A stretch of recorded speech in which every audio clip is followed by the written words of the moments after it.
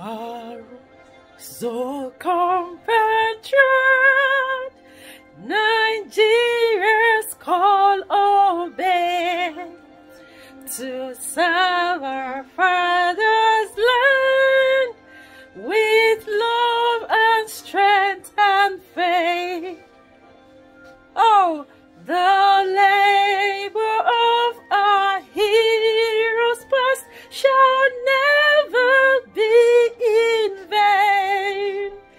to with heart and mind, one nation bound in freedom, peace and unity. Yeah. Come on, my girls! I love you, bro. I